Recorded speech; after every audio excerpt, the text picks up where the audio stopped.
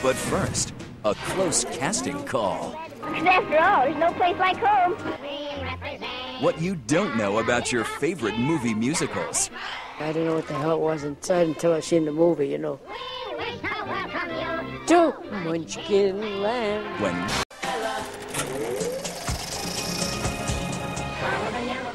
One little girl, 124 little people, three witches, three great song and dance men, and our third best musical, but who's counting? The Wizard of Oz.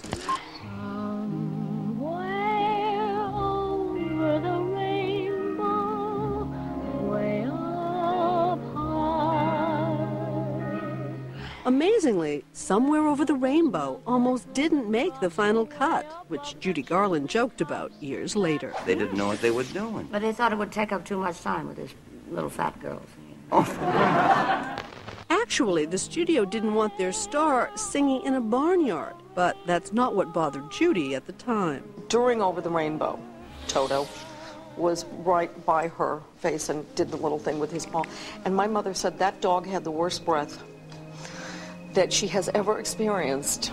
And she, she said it, he was sort of eye watering. Why then, oh, why can't I?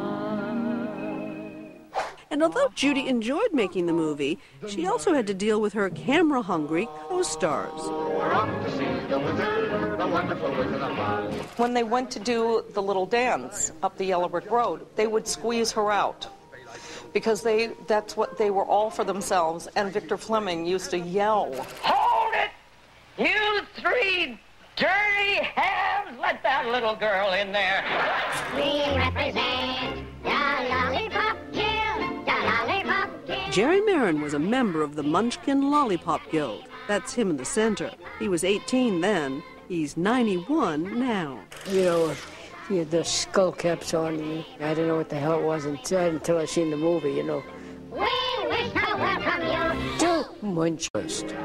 A magical musical adventure that stretches from the plains of Kansas to the Emerald City, The Wizard of Oz.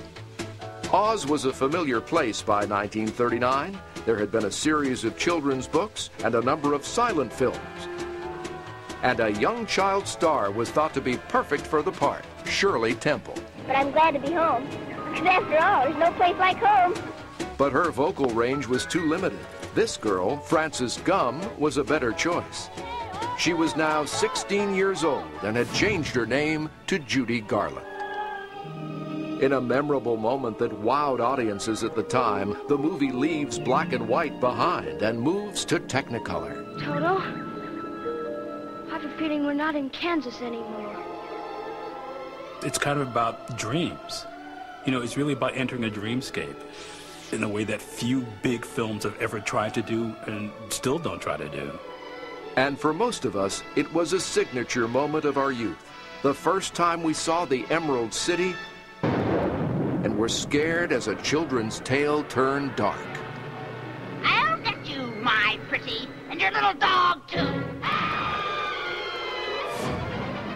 Over 100 extras, all little people, were hired for the film, most coming from vaudeville or the circus. One was Jerry Maren.